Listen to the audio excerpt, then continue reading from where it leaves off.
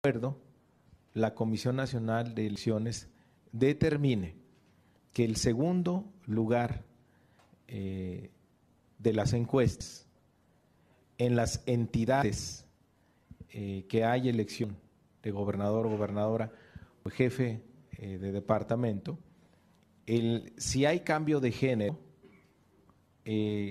quien haya ganado su encuesta y no sea precandidato por el cambio de género, pueda optar por ser candidato o candidata al Senado de la República de manera directa, como una excepción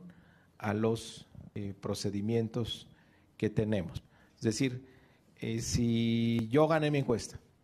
pero por regla de género no soy el precandidato, entonces yo puedo optar de manera directa por la candidatura al Senado para primera fórmula en esa entidad. Es decir, los participantes de las nueve entidades podrán, que si quedan, eh, digamos, en segundo lugar, podrán, por el cambio de género, podrán optar por encabezar la fórmula al Senado en su entidad. Y en el